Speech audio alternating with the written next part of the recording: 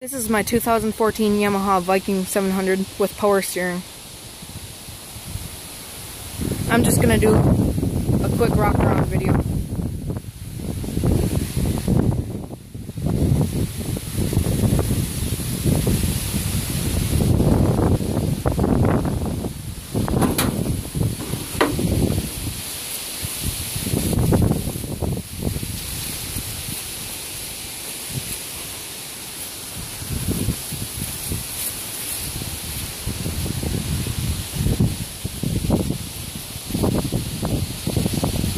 Comment below if you have any questions about any of the add-ons.